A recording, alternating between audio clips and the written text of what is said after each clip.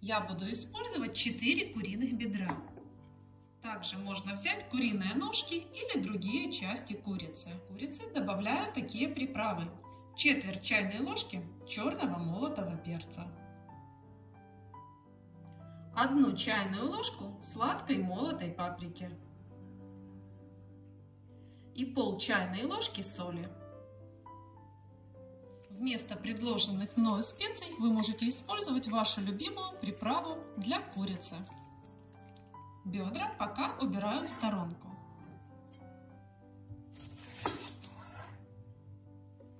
Один репчатый лук нарезаю мелко.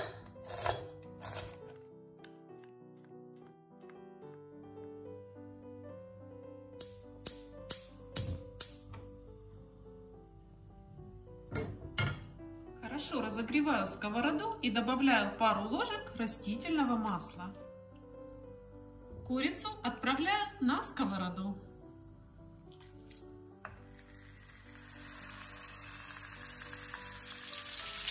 Курицу жарим несколько минут, пока она не станет красивого золотистого цвета. И переворачиваем на другую сторону. Когда курица поджарилась, позолотилась с двух сторон, я пока снимаю ее со сковороды.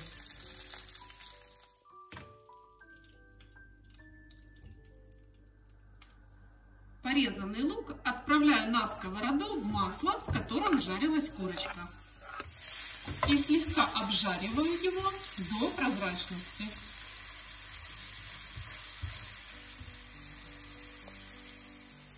Через минуту я добавляю зубочек чеснока к луку. Пропускаю его через пресс. Перемешиваю. Один стакан гречки, 250 граммов, хорошо промою.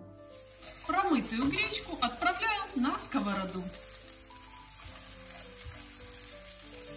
Обжариваю, помешивая одну минуту.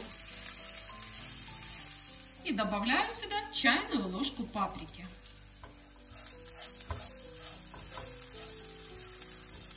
Дальше я заливаю гречку двумя такими же стаканами воды, как я отмеряла гречку.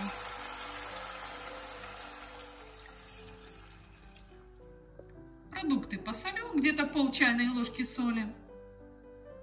Наверх выкладываю курочку.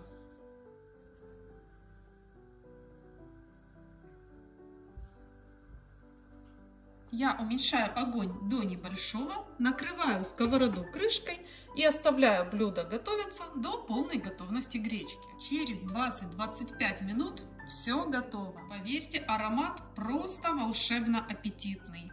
И блюдо получается невероятно вкусным. Я возьму немного зеленого лука и немного укропа. Порежу их мелко посыпаем порезанной зеленью наш вкуснейший ужин или обед. Несмотря на простоту ингредиентов и простоту приготовления, семья будет в восторге от этого блюда. Я рекомендую вам попробовать этот рецепт, который получится у всех. А также рекомендую подписаться и нажать колокольчик, чтобы сразу видеть новые интересные рецепты. Ставьте лайк, если рецепт вам понравился. Напишите ваше мнение в комментариях об этом блюде. Я желаю вам приятного аппетита, будьте здоровы, радостны. Увидимся, как всегда, в следующем вкусном видео.